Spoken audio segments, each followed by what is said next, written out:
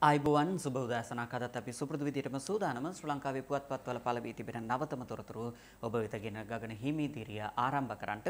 අද 2020 වර්ෂයේ දෙසැම්බර් මාස 29 වැනි අඟහරුවාදා දවසේ. ඉතින් අද දවසේ යෙදී තිබෙනවා උඳුවපුර පසළොස්වක පෝය දිනය. ඉතින් අද දිනය ශ්‍රී ලංකාවේ ශාසනික වශයෙන් ඉතාමත් වැදගත් සම්දිස්ථාන රැසක් සිහිපත් කරන දිනයක් බවට පරිවර්තනය වෙනවා. මෙම උඳුවපුර පසළොස්වක පෝය දිනයේදී විශේෂයෙන්ම සඳහන් කළ යුතුයි සිරිපා වන්දනා සමය අදින් ඇරඹෙනවා මේ උඳුවප ප්‍රපසලවසක පෝය දවසත් සමගින් ඊයේ දවසේදී සමන් දේව ප්‍රතිමාව ඇතුළත ආභරණ රත්නපුර ගල්පොත්තාවල රජමහා විහාරස්ථානයේ සිට මළුවට ශ්‍රීපා මළුවට වැඩව කරවීමේ කටයුතු ඊයේ දවසේදී ඉතාමත් හරසරින් පෙරහැරකින් සිදු කරනු ලැබුණා.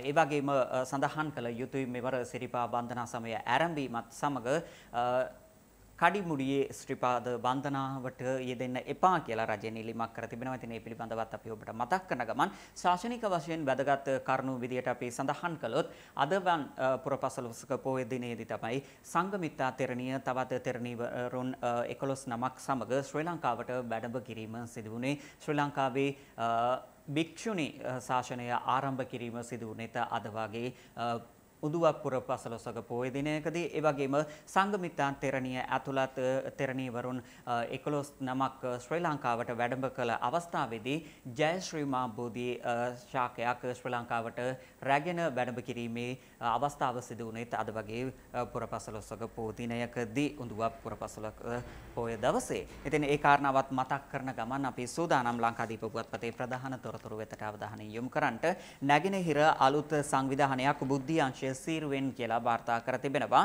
නැගෙනහිර පළාතේ අලුතින් බිහි වී ඇති මුස්ලිම් සංවිධානයක් ක්‍රියාකාරීත්වයක් සම්බන්ධයෙන් ආරක්ෂක බුද්ධි අංශවලට පුළුල් පරීක්ෂණයක් පවත්වන්නයි උපදෙස් ලබා දී තිබෙනවා. ඒ වගේම එම සංවිධාන සම්බන්ධයෙන් තොරතුරු බුද්ධි අංශය වෙත මෙවන විටත් වාර්තා වී ඇති බවට සඳහන් කර තිබෙනවා.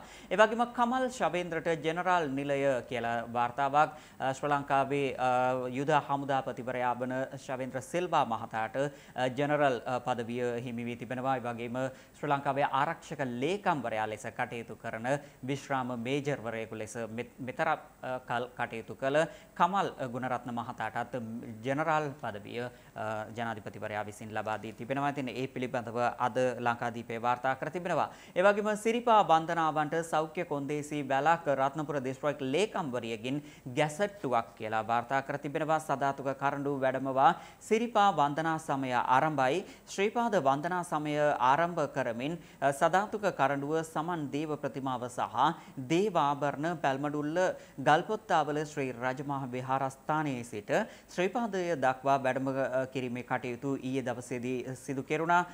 මෙවර වන්දනා සමයට සහභාගී වන බැතුම් මැතුන්ට මේ ආකාරයෙන් සිරිපා වන්දනා සමය වෙනුවෙන් සෞඛ්‍යමය කොන්දේසි බැලක් නිකුත් කිරීමටත් විශේෂ ගැසට් නිවේදනයක් රත්නපුර දිසා ලේකම්වරිය විසින් මෙසේ ගැසට්ටුවක් නිකුත් කර තිබෙන පුවතත් අද වාර්තා කර තිබෙනවා ලංකාදීප පුවත්පත ඒ වගේම ධම්මික පැණිය බිහි වූ කෑගල්ලේ වරකාපොළ පහකට කොරෝනා කියලා තවත් වාර්තාවක් වෛද්‍ය හරිත අලුත්ගේ කියයි කියලා සඳහන් වනවා. ඒ වගේම මුස්ලිම් ජනතාවගේ දේහ ආදාහනය කිරීම සම්බන්ධයෙන් කටයුතු කරන්නයි ඉල්ලා භික්ෂූන් වරුන් පිරිසක් ඊයේ දවසේදී ජනාධිපති ලේකම් කාර්යාලය ඉදිරිපිට උද්ඝෝෂණයක නිරත වුණා.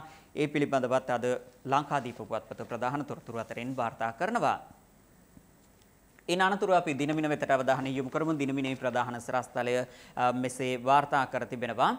රුසියා චීන බ්‍රිතාන්‍ය කොවිඩ් එන්නත් ගෙන්වීමට අවධානය කියලා මෙසේ ලලිත් වීරතුංග හිටපු ජනාධිපති ලේකම්වරයා සඳහන් කරන පුවතක් ප්‍රධාන තොරතුර විදියට වාර්තා කර තිබෙනවා. රුසියාවේ නිෂ්පාදිත එන්නත ලබා ගැනීම සම්බන්ධයෙන් අවධානය යොමු ඇති බවට සඳහන් වෙදී එතනෝල් හදන්න බඩ ඉරිඟු භාවිතය තහනම් කියලා සඳහන් ජනපති නිලධාරීන්ට උපදෙස් ලබා දෙයි කියලා සඳහන් වෙනවා. ඒ වගේම රියදුරු බලපත් මුද්‍රණයේ යුද හමුදාවට කියන කාරණාවත් අද දිනමින පුවත්පත ප්‍රධාන තොරතුරු අතරින් වාර්තා කරනවා.